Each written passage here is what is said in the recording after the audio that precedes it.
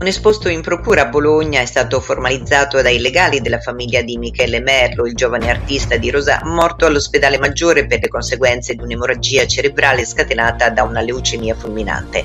La denuncia formale consente di chiedere l'avvio delle procedure di sequestro della salma e delle cartelle cliniche. La famiglia vuole che sia fatta luce su eventuali errori e omissioni mediche prima del ricovero all'ospedale maggiore. La procura di Bologna ha aperto un fascicolo contro ignoti per reato di omicidio colposo confuso. Il padre dello sfortunato cantante nei giorni scorsi ha raccontato che il figlio stava male da giorni ed è stato rimandato a casa con un antibiotico dai medici del pronto soccorso dell'ospedale di Vergato sulle colline bolognesi. I sintomi che il giovane presentava, mal di testa, mal di gola, febbre e spossatezza, accompagnati da echimosi e sangue del naso, sono stati scambiati per un malanno di stagione. Intanto è stata aperta un'indagine interna da parte dell'azienda sanitaria. I familiari del cantante ventottenne morto a causa di un'emorragia cerebrale, hanno depositato la denuncia formale necessaria per chiedere l'avvio delle procedure di sequestro della salma e cartelle cliniche.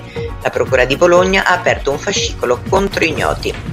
La data dei funerali verrà comunicata solo dopo che l'autorità giudiziaria avrà dato il via libera.